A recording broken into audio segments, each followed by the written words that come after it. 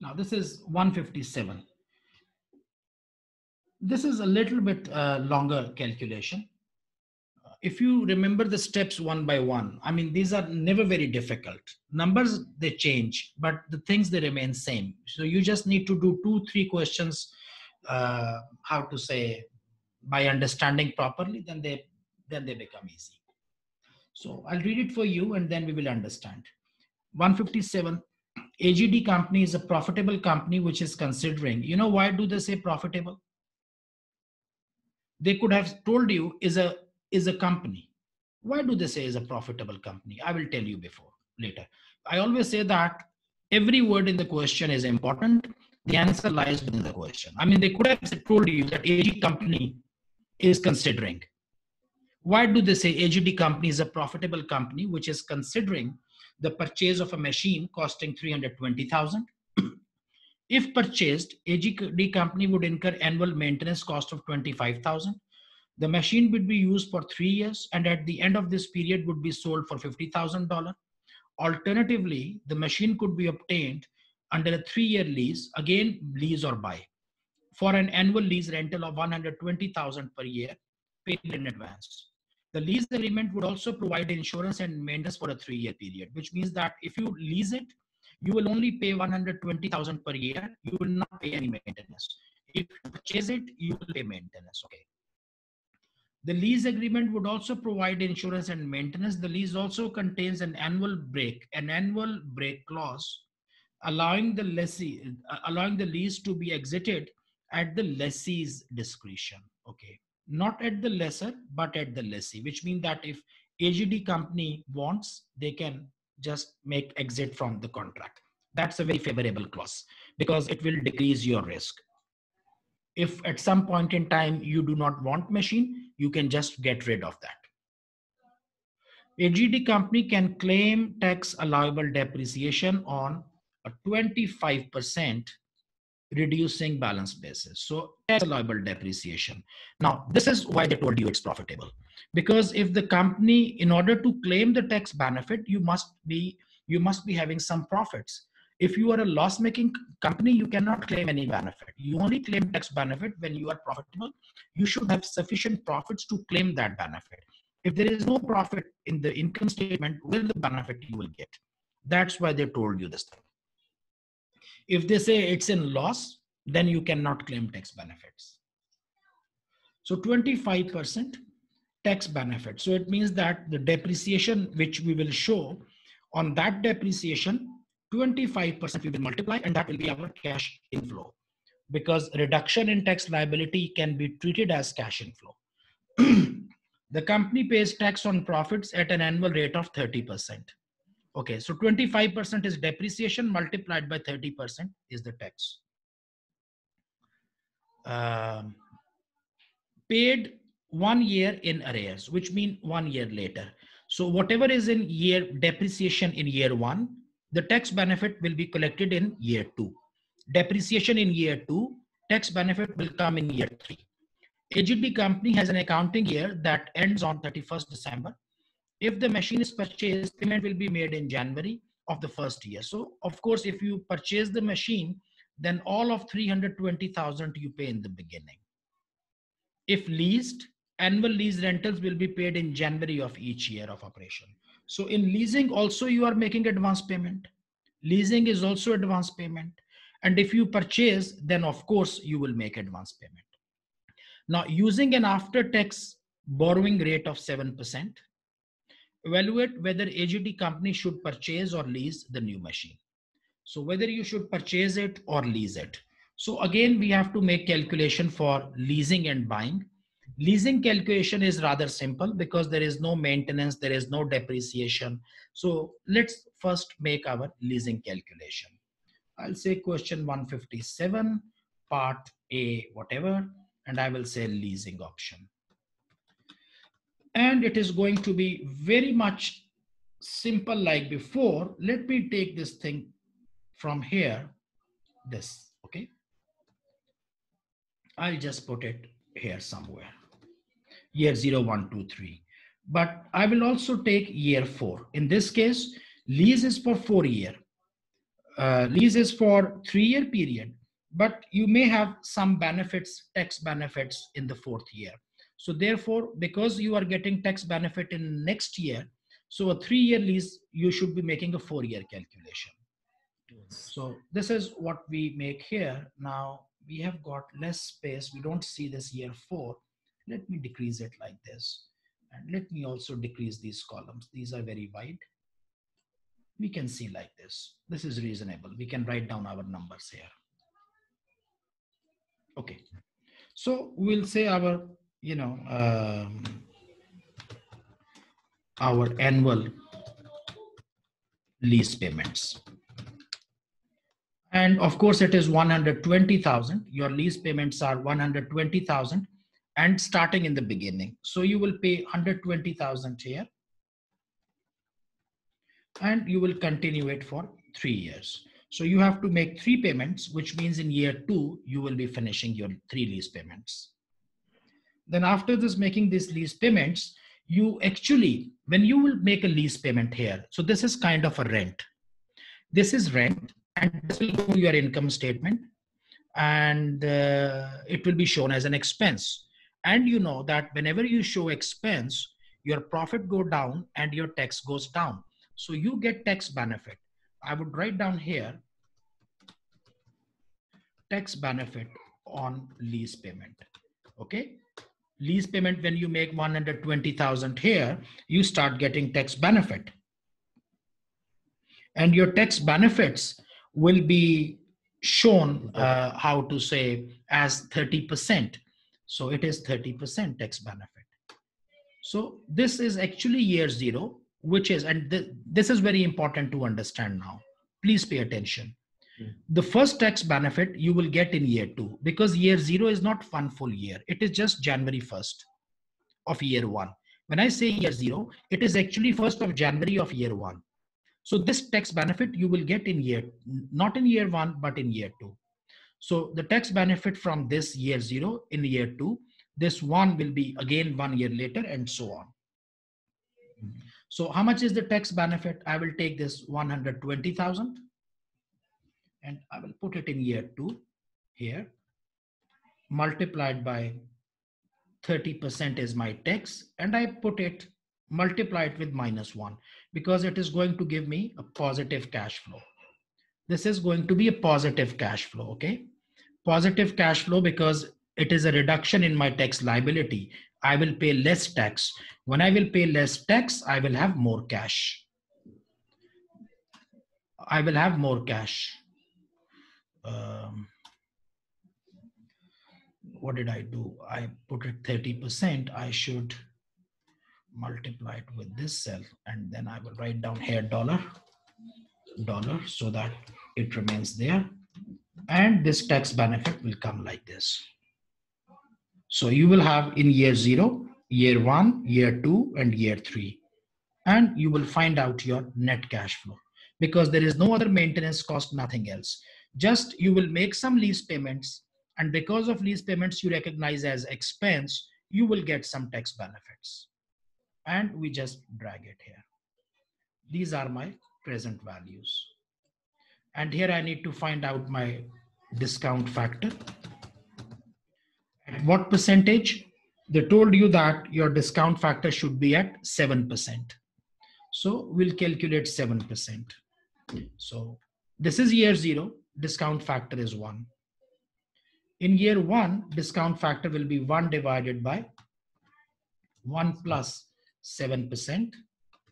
And I would say it, you know, power 1, this one. And let me now just lock this cell of L73 as dollar sign so that we can copy paste there and we put the sign and we make it to three decimal places and we say PV, present value. And again, I will draw one line. Very much particular about formatting of the tables. Formatting is important. And we take like this. And again, we will. Now, because these are numbers, I can take, I can remove my, I can ignore my decimals. And I would say that present value of cash flows or present value of lease or present value of cash flows, whatever you want to call. And we make it sum and we make total of these four columns. And the leasing option is, so actually you are going to pay 120, 120, 120. You are going to pay 360,000 but your net cost is only 248 because you will get some tax benefits when you make payments your tax liability will go down. You will pay less tax. So that should be considered as cash inflow. Your net cost is 248667 this is the cost of leasing. This was simple. We did it before. Now next thing is we need to do you know buy. It says that it could per consider purchasing of a machine. 320 if purchased it would incur annual maintenance cost of this. So now we'll have our purchase option. This is now a little bit more technical and you, you need to be careful on this calculation. We'll take the same table here again four year time frame and we'll buy the option. So we'll say initial cash outflow, okay? Or you can call it cost of the equipment. You can call it very simple cost of machine. Let's call it like this, whatever you may call, makes no difference. And your initial cost of the machine is like 320,000 now. And you will put here 320,000 minus. This is what will go out from you. And then you have maintenance annual maintenance cost. And how much is the annual maintenance cost? Annual maintenance cost is, if I am not mistaken, it is, did it say? 25,000 used for three years. At the end, sold for 50,000. okay. So from this year, we'll start paying our maintenance cost for three years time period. Fourth year, I'm putting only for tax calculation. Fourth year, there are no other cash flows. So I have 25,000 here. So this is my cash outflow. This is also my cash outflow. And Fourth year, we have a cash inflow of uh, 50, 50,000?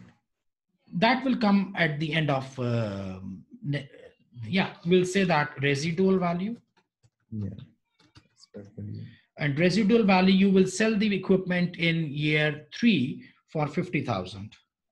So we put residual value, we get, we get positive cash flow in year four. After that, I get my tax benefit on maintenance cost. Remember maintenance cost? Before you were getting tax benefit on leasing, now you are spending this 25,000 as an expense. So you get benefit on this. How much is that? I think it is 30% tax benefit. So I take this one, 25,000 multiplied by 30%, okay? 30%, I put it here.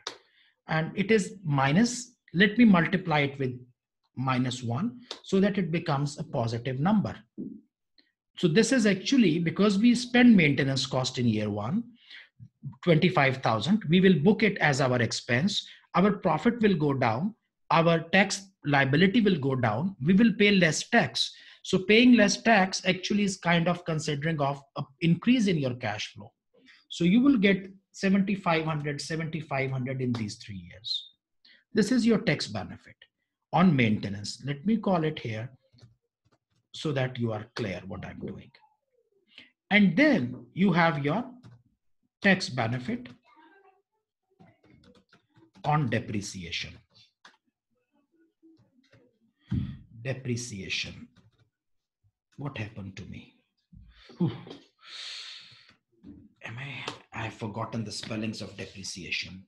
So tax benefit on depreciation. For that, you need to prepare a table. Let me make like this. And we need to always create a separate calculation, okay? Always do a separate calculation for that so that you don't get mixed up. So you have to prepare your, let's call it, you know, TAD, tax allowable depreciation. So in year one, now it is not in year zero. I'm putting in year one, my asset is 320,000. And how much depreciation we have been allowed?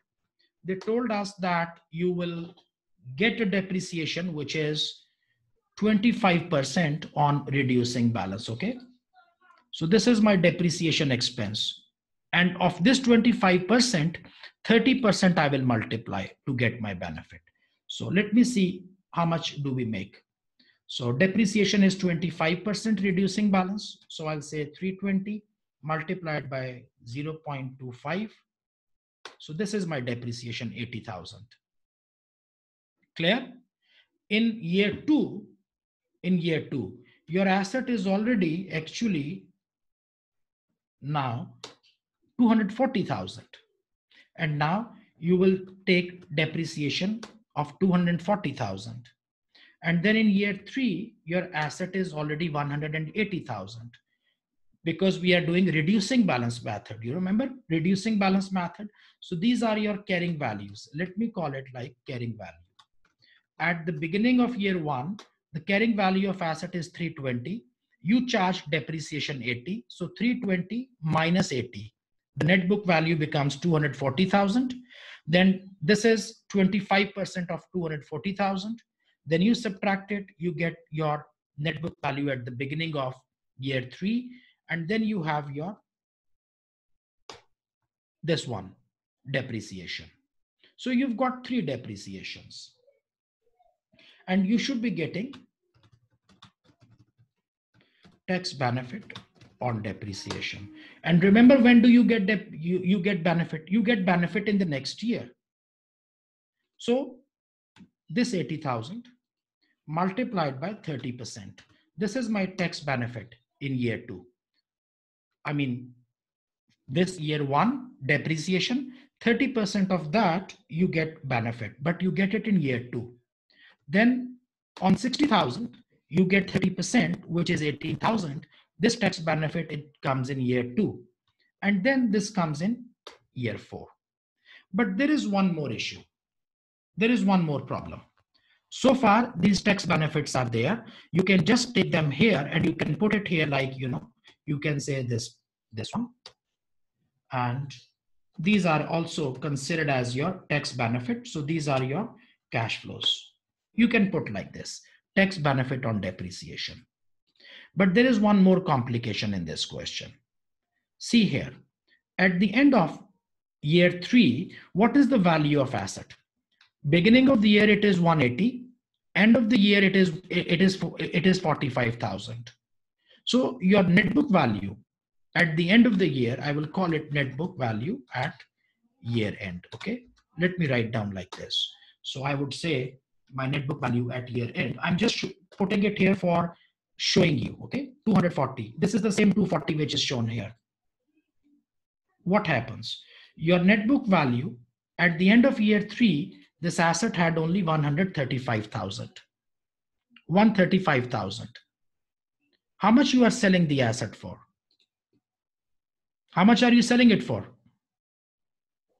120, uh, sorry, 50,000. You are selling it for 50,000. So this is an asset which in your books is 135,000, but you are selling it for 50,000.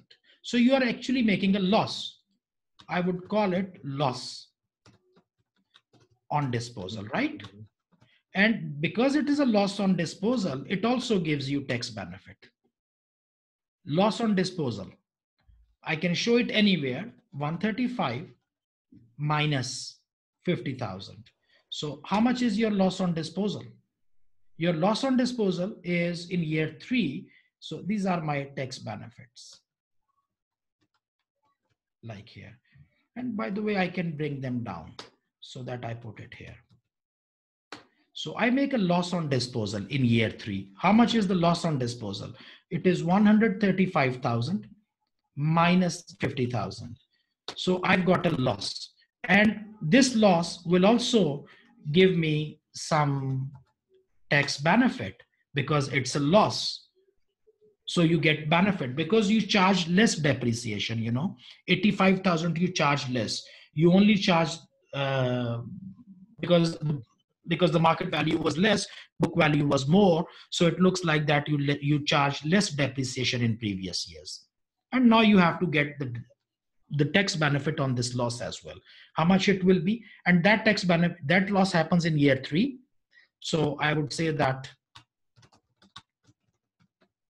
tax benefit on its tax benefit appears here 85 into 0.3 this is 25,500 and um, by the way let me just not confuse it. I'll put it below here because like this so I've got tax benefit on depreciation whatever is depreciation this 80,000 30% of that is here then 60,000 depreciation, 30% of that is here. So these are the tax benefits of your depreciation and this is your loss and this is the tax benefit of loss. So now I would say that total um, and by the way let me put it i'm just thinking how to make it better in order not to confuse you tax benefit on loss and I would say total tax benefits. So there is no tax benefit in year one, of course. We start with year two and we accumulate. So these are the three years and the tax benefits. The tax benefit in year one, year two, and year three, and of course in the last year. Are we clear on that? This one was simple, but this one you need to pay attention. This is a tax benefit on loss. Now I go back here and I just take these numbers, okay? These numbers I need. Once I'm done with them, I don't think that there is any other thing.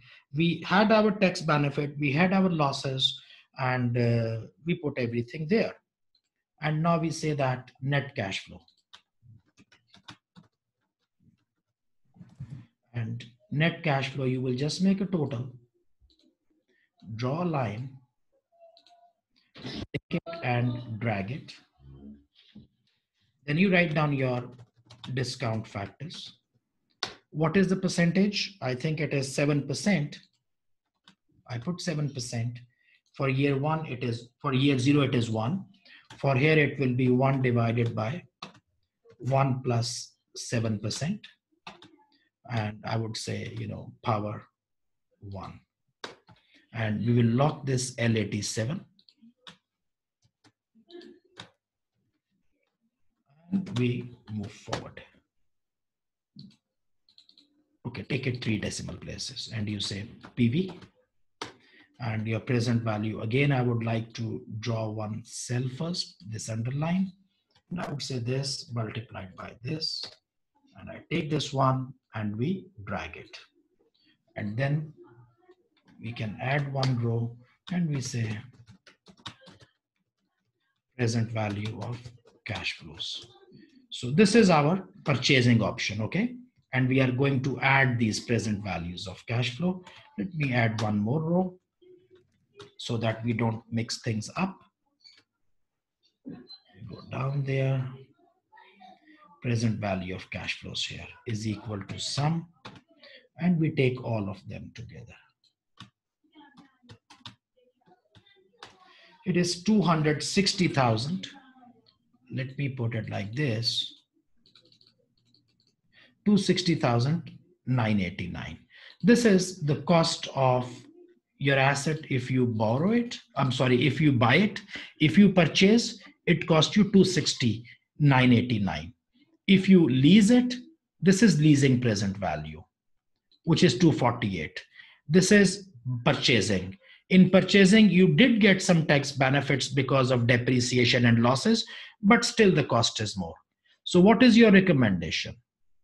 You should be going for, and it says that evaluate whether AGD company should purchase or lease. So go for purchase. You should say that, uh, you know, on comparing the cost of leasing and cost of borrowing, we can say that leasing is a better option because it costs less. So we should go for lease. This is 12 marks question done. You don't have to speak or write a lot because most of the marks are, are for calculation. It is just you have to make a two line note. That's all. Then um, this is part A is done, okay? 12 marks are done. Part B, if you have any question until here, please ask me. Otherwise, I will start discussing part B. Any question you want to ask? Discussion, please. Lease was simple. I know that lease we did previous question as well. It was simple. No. Yes. In purchase option, if you see what we did, we made two tables. We made our, uh, if I make this our final table, in final table, cash outflow, then maintenance cost, and then the cash inflow coming in by selling the asset. Then these are your tax benefits on this maintenance cost. Because when you will spend money, it's an expense, and every expense brings you tax benefit. And then you have tax benefit on depreciation and this loss. So you charge depreciation in three years. Very simple. Calculate reducing balance. I'm sure you know how to calculate reducing balance. Multiply it with 30%. And just pay attention that you are selling it for on a loss. Asset is on 135 in your books. You are selling it for 50. So you are making a loss of 85. On 85,000, you make again a tax benefit. And these tax benefits are positive cash flows. Your question is done uh, I would suggest that you should do this part one time at least by yourself. Now, if I come back to discuss for five marks, whether the lease may also provide non-financial benefits. Uh, yes, it does. Actually, financial benefit it is because financially it is viable to go for leasing because you know its cost is less but the non-financial benefit, what I noticed here was this one. This is very important because if you purchase the equipment and then for some reason your project does not go as you expect you there you you you you see some fall in revenues you cannot do anything you are stuck with that you know uh, asset but in case of lease they, they, they said that you can exit from the lease on a notice. So that's a very big privilege. I mean, whenever you are making a capex, it is always a fear that, okay, if I invest money, what if I don't make enough money? If I have a lease, I can make an exit. This is one very interesting thing for us. So this is your non-financial benefit. Then another is about maintenance because when you make a lease, you don't take a risk of maintenance. Here we assume that this is maintenance cost. It may go up, may go down. In case of leasing, that risk is also gone. So there is no risk of project success. There is no risk of maintenance. There is no risk of selling it, you know. Here you've got a lot of variables. You say that I'm going to sell it for 50,000, you know. But what if you don't get it 50,000? In leasing, it is straight away you just pay money you get your tax benefit and you are better so leasing of course is a better option by far